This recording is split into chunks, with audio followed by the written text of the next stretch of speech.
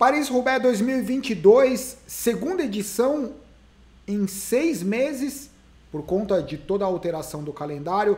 A última edição, Sonny Colbrelli, vocês lembram, foi o vencedor final lindo, é, seis meses atrás. Sonny Colbrelli não está presente, ele teve um problema do coração na chegada de uma, de uma prova recentemente, inclusive ele teve que colocar um marca-passo. Eu não tenho maiores detalhes, na verdade eu não li exatamente o que, o que aconteceu, mas parece que ele não vai poder mais competir como ciclista profissional na Itália. Existe uma, uma lei, uma regulamentação dentro da Itália.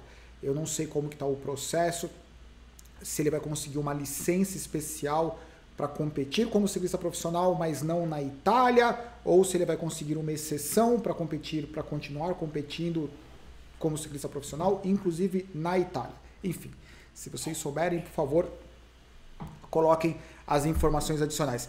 Antes de falar um pouco sobre a prova, é, gostaria de mostrar umas imagens que com certeza vocês viram, mas que mostram a, a brutalidade da prova e a idiotice também. Vamos lá. Ai, ai.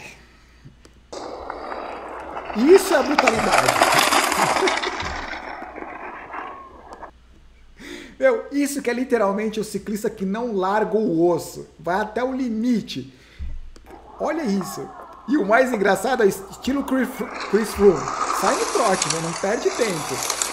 A hora que os caras começam a entrar nas sessões de paralelepípedo, os carros das equipes, eles têm, eles, o carro tem pouca oportunidade de entrar é, no paralelepípedo mesmo, porque os fiscais eles são super rígidos. Porque uma vez que, mesmo que tenha um grupo, um gap, uma vez que o carro entra, se, algum, se alguém tiver algum problema dentro do paralelepípedo, um carro ele bloqueia 100% da pista, daí todos os outros grupos que vêm atrás viram um caos. Então, enquanto o cara está no paralelepípedo, ele praticamente tem que esperar passar todas as quebras do. Não, não é bem assim, mas o cara fica um bom tempo esperando ali. Né? Tempo suficiente para perder vários grupos. E se deve ter uma coisa que não é agradável no Paris-Roubaix, é terminar no grupeto. Né? Em outras etapas, em outras provas, terminar no grupeto às vezes é até legal, porque o asfalto é bom, você vai conversando. Agora, passar por essas sessões de paralelepípedo no grupeto devagarzinho, ah, deve ser sofrido. Mas no osso, olha isso. Desmanchou, desmanchou. o mais impressionante, tô dando risada porque né, a Shimano que dá a roda pros caras, né? Mas olha lá, só na trotezinha, vamos embora. Isso é uma coisa. Ciclista fica puto, né? Não, não tem como não ficar. Agora isso, me explica uma coisa, vocês que são os, os entendidos do negócio. Eu acho que não o staff da equipe ele não pode subir na bicicleta, porque afinal de contas, o staff subir na bicicleta, ele está pedalando no percurso da prova. Por que que esse staff, eu tenho certeza que esse cara, ele deve ser o CEO da empresa que patrocina, e sabe aquele, o, aquele cara que ninguém pode falar, não, não, não, deixa aí no carro da equipe, deixa eu ajudar, porque não, não é possível. O cara me aparece empurrando a bicicleta, empurrando não, pedalando a bicicleta. Aqui tem um ciclista, acho que da Lotus Sudal, esperando. Ó lá, ó o Tigrão chegando, ó. Estilo transição de triatlon. Fica vendo. Olha, olha, ó que coisa linda, ó. Cara, o ciclista preocupado com o staff, que o cara quis pedalar. Brincadeiras à parte, o cara se machucou, eu vou mostrar porque ele se machucou. É, esse paralelepípedo não é aquele paralelepípedo que a gente, pelo menos que eu tô acostumado, em São Paulo, Guarulhos, que é um paralelepípedo bonitinho. Isso aí é casca, meu. Isso aí é paralelepípedo de 100 anos atrás. Não era que todo colocava tudo bonitinho, né? Ele cai no lado esquerdo do braço dele. E ele machuca, porque dá para perceber, quer ver? Eu vou mostrar para vocês. Olha lá, ele vem, ele cai, cai feio, ó, ó, pimba! Pronto, aí já quebrou uns três pedaços o braço. Né? Daí vem o ciclista ajudar o staff. E ele, ó o bracinho dele, ó, ó a carinha de Oswaldinho dele, ó o bracinho doendo. Ai! E daí quando ele vai empurrar, ele empurra com a mão direita e ó o bracinho dele pendurado. Quebrou. Quebrou feio o braço, olha lá, ó o bracinho pendurado. Cara, tomara que ele não tenha se machucado. Mas se machucou. Ok. Isso é só para mostrar que o negócio é, é brutal lá, meu. Não vai brincar de, de empurrar a bicicleta, não. 257 quilômetros, 30, são 33, 30 sessões de paralelepípedo, sendo que uma sessão é dividida em A e B, por isso que, as, dependendo de quem estiver falando, fala 31 sessões. São 30 sessões, 30 sessões é, categorizadas e uma dessas sessões dividido em A e B, 257 km. A primeira sessão com 96 km de prova. Isso faz com que geralmente, olha lá, 257 km. G, são 50, mais de 50 km só de paralelepípedo. Primeira sessão de paralelepípedo com quase 100 km, 96 km. Isso quer dizer que geralmente os primeiros 100 km é para ter um senso do que, que vai acontecer na prova. Mas esse ano foi diferente. É, porque a Ineos resolveu, vamos explodir a prova logo no começo, antes da primeira sessão de paralelepípedo, e foi isso que os caras fizeram. Eu não tenho certeza, mas dava a impressão que se o Filipe Gana não era a opção número um, ele era uma opção é, para ser considerada. E o Felipe Uganda está sendo treinado para lutar pela, pela, classificação geral das provas, é, inclusive de estágios. Pode perceber que o biotipo dele mudou drasticamente, ele está muito mais seco. Né? Eu acho que vão fazer com ele um pouco parecido com o que fizeram com o Bradley Wings. Vamos ver o que vai acontecer. Mas ele teve problema mecânico, assim como quase todos os caras. Pelo amor de Deus, não é porque você torce para alguns ciclistas. Ai, se não, se não tivesse furado o pneu que as câmeras captaram, quase todo mundo teve problema mecânico, inclusive os caras que chegaram lá na frente. Todo mundo teve problema mecânico. É, não tem como passar por 257 km do Paris-Roubaix sem, sem problema mecânico. Olha o que a Ineos fez com, dos, com 50 km de prova. E daí é aquela velha história, né? É, é, principalmente no mundo amador, todo mundo fala muito de subida, subida altimetria, subida altimetria, não sei o quê. É, para o ciclista profissional, ou o cara é escalador ou não é. Ponto. Né? Então, assim, numa etapa de montanha, ou ele é escalador ou ele não é. Vento cruzado a favor, na verdade, vento cruzado a favor em etapa sobe, desce ou etapa plana, mesmo os escaladores eles têm que passar. E você não tem por onde, você não tem onde se proteger, você não tem o que fazer. Você não é muito difícil fechar o gap sozinho né? Começa um jogo de politicagem imediatamente, porque o vácuo se torna super importante e é difícil você brigar pela posição para conseguir ter o vácuo. Então, provavelmente aqui pela posição do pelotão, o, o vento ele está vindo da direita para a esquerda deles, certo? É da direita para a esquerda deles. Daí causou esse gap. Por que, que aconteceu esse gap? Olha a Ineos na cabeça do pelotão.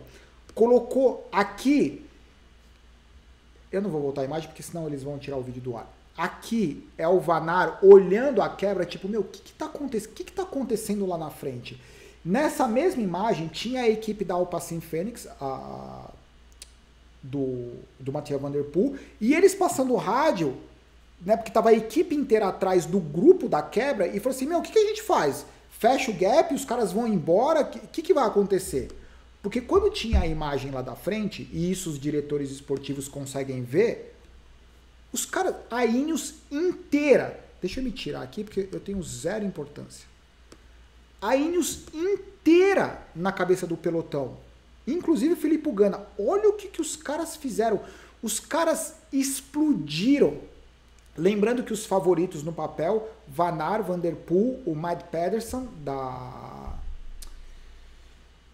da Trek. Eles não, os comentaristas gringos não incluíram o, Matthew Mohoric, eu não sei porquê, mas o Matthew Mohoric, sem dúvida nenhuma, é um, é, era um do, dos favoritos, mas não consideraram ele. Talvez por achar que a prova é específica demais. E essa. aquele era o grupo da, da Ineos, esse é o grupo que a, vocês estão percebendo ali que tem a Trek na frente e a Alpacin tentando se armar. Falou assim: bom, vamos fechar esse gap né? Já tinha passado alguns vários quilômetros, ali a DSM, a DSM com o sistema que ajusta a calibragem do pneu durante a, durante a, a etapa. O que é surpreendente que esse, esse dispositivo ele foi liberado para as provas de ciclismo e não foi liberado para as provas de mountain bike. Porque se no mountain bike é muito mais importante do que no ciclismo de estrada, eu não tenho a mínima ideia. Tem que mandar a carta, carta, lembra que a UCI, os tiozinhos do UCI, eles não sabem que é e-mail, eles não sabem o que é tecnologia, tudo. Você falou a palavra tecnologia, eles são contra. Eu fiquei surpreso quando eles aprovaram o uso do equipamento. Eu sou a favor de qualquer evolução, de qualquer coisa que se coloque lá para usar, é... mas eu fiquei surpreso que no mountain bike não. É muita tecnologia, vai estragar o esporte ou alguma coisa do tipo. Estragar o esporte. Faz de carroça, então, porque proíbe carbono, que é coisa mais tecnológica do que carbono. Enfim, esse é o grupo da, da Ineos, que simplesmente a Ineos merece. Eles, eles simplesmente dominaram a, a prova inteira. Aqui o pelotão já estava bem esfarelado. Esse é o Filipe Gana que teve problemas, ficou para trás. A, a Ineos esperou o Filipe Gana. Né? É, mesmo não oficialmente, eu não sei se era oficial, mas eu acho que o Filipe Gana era o cara para competir. Esse foi o momento que teve um tombo, fica todo mundo embolado, vários caras da, da Ineos ficaram presos ali. Isso não alterou o resultado final, né, individual dos ciclistas da, da, da Ineos, mas com certeza queima a perna, né, meu? Porque você fica preso aí, ó. Tem um, dois, acho que tinham três ou quatro da Ineos que ficaram presos. Tem um ciclista ali, o que tá mais na parte, quase dentro ali do, dos girassol, não é girassol, dessa, assim, das florzinhas amarelas, quebrou o selim dele. Aí sai Garmin para tudo quanto é lado, sai. E aqui, faltando 133 quilômetros, começaram a aparecer os caras que assim era mais difícil você ver o tinha quebra do, dos grupos, era mais difícil você ver os grupos se reconectando. O que acontecia era ciclistas começavam a sobrar dos grupos, mas não tinha mais muito movimentação de grupo chegando de trás no, nos grupos da frente.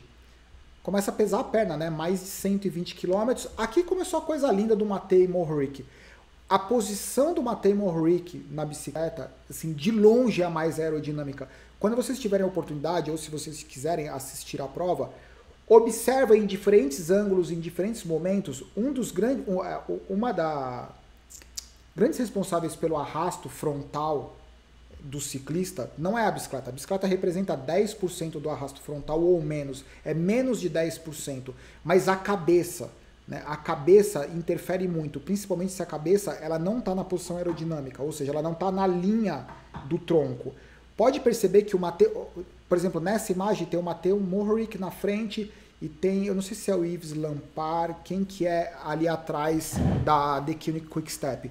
Mas o Matei Mohoric, o posicionamento aerodinâmico dele é uma coisa fenomenal. Não importa o ritmo, o cara ele sempre está numa posição que é incrível. É a famosa eficiência, né? Fica todo mundo obcecado. Ó, tudo bem que ele é, aí ele tá com a cabeça baixa, esquece esse momento. Mas essa é a posição dele, ó. Tá vendo? A cabeça dele é, de, é, é na mesma linha do tronco. Ele, raramente ele levanta a cabeça mais do que isso. Né? Ele olha com o olho, com a visão periférica, mas ele não levanta. A cabeça dele não fica fora do tronco. Fica na mesma linha.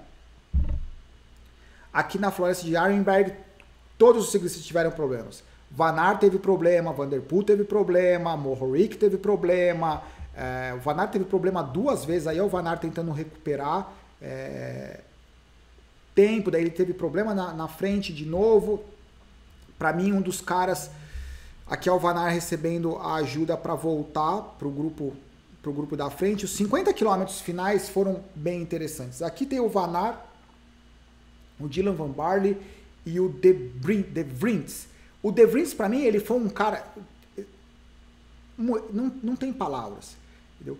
Porque ele foi o cara que esteve em movimentações importantes, ele pedalou alguns vários quilômetros, eu vou mostrar na frente, na verdade na frente não tem essa imagem, mas teve um momento que ele estava com o Mohoric, Mohoric teve problema e ele pedalou sozinho, sei lá, 10, 15 quilômetros, já com 220 quilômetros na perna. É, o cara, sim, esse De Vries, com certeza, os caras já estão todo, tudo, todo mundo de olho, as equipes. Vamos contratar, vamos contratar. Matia Vanderpool. Matia Vanderpool, 1, 2, 3, 4, 5. Matia Vanderpool é a sexta roda. De longe ele é o Matia Vanderpool que a gente está acostumado em atitude, em posicionamento. Realmente ele não está no. É engraçado falar, ele não está no melhor, melhor da forma física dele. O cara, ele tá nas movimentações principais da Paris-Roubaix, o que para qualquer ciclista já é um sonho de carreira né, estar nas movimentações principais nos 50 quilômetros finais de uma Paris-Roubaix é o sonho de todo mundo. E para ele, talvez eu sei, puta, eu tive um dia péssimo e não consegui vencer. Eu estava apenas ali, né, entre os top 10 do Paris-Roubaix, para ver a diferença que esses caras têm em relação à média do que é ser ciclista. Aqui começou a politicagem, a Want merece palmas e merece ser convidada para todas as grandes voltas, todas as provas clássicas, porque se, se alguém souber o que mudou na Want Couper dos últimos dois, três anos para cá, porque eles, assim, eles sempre tiveram presentes, mas era aquela coisa, sabe? Aquela fuga que ninguém tinha interesse em prova. É, em, em, grandes voltas, fuga em prova clássica, que é aquela fuga bem no comecinho, que ninguém quer neutralizar. Não, e ultimamente eles têm aparecido para disputar as provas de igual para igual com grandes equipes. E com nomes que até então eu não conhecia. Né? Isso não quer dizer que o cara não esteja lá na estrada faz tempo. Aí é o Dylan Van Barley, na primeira movimentação agressiva dele, ele ficou 200 quilômetros guardado. Esse foi a primeira movimentação dele. E daí começou a politicagem entre quem vai fechar que, movimentação, se vale a pena ou não. Vanar com o segundo problema mecânico, trocando a bicicleta. Daí para frente não dá para falar é, aqui o Mohoric, pronto. Ó. Esse foi o momento que o Mohoric teve problema. Ele estava o De Vrinks e o Mohoric. A partir do momento que o De Vrinks, o, o Mohoric teve problema, o De Vrinks ele ficou solo, se eu não me engano, por 10 km, por 15 km, mas já com 20, já com 200 e poucos quilômetros na perna, monstro.